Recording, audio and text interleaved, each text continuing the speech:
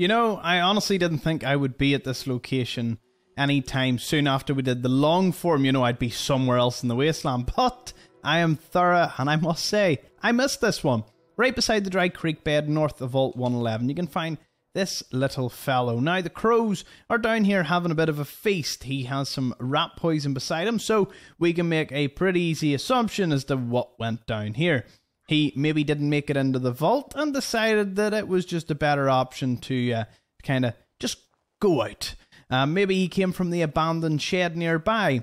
Now, the crows are seemingly eating or being around this guy. Now, I'm not, I'm not sure. I would assume he perished long, long ago, given you know his state. But there, perhaps he only died merely you know a year or two ago and not when the bombs fell.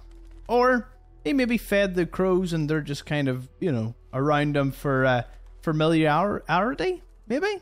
I don't know. Let me know your theories in this one. I'm pretty lost, but these crows are uh, definitely enjoying the place. And if you leave, they'll just perch on this tree and just sit and watch you.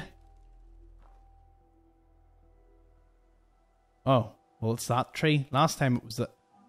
Yeah, they just kind of sit in the trees and wait for you to move, and then they just go back to him.